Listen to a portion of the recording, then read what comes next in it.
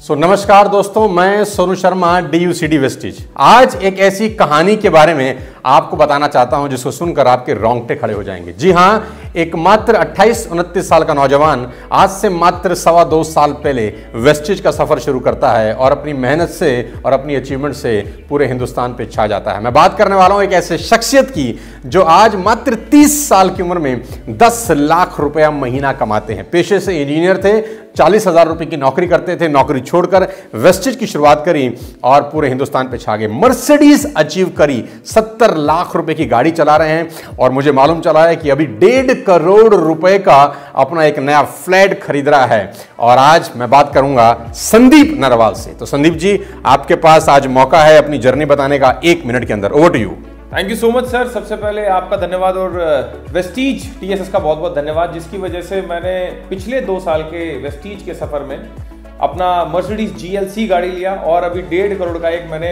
Flat भी खरीदा है। और दोस्त, ये सब कुछ पॉसिबल हो पाया वेस्टीज के ज़बरदस्त प्लेटफॉर्म की वजह से और टीएसएस सोनू सर की गाइडेंस की वजह से। पिछले दो साल इतने शानदार रहे। दोस्त, और मैंने ही नहीं, मेरी टीम में भी दो लोगों ने मर्सिडीज लिया है। तो ये मेरे लिए सबसे बड़ी अचीवमेंट है कि अपने आप कर करके साथ में लोगों को मर्सिडीज दिलवाया।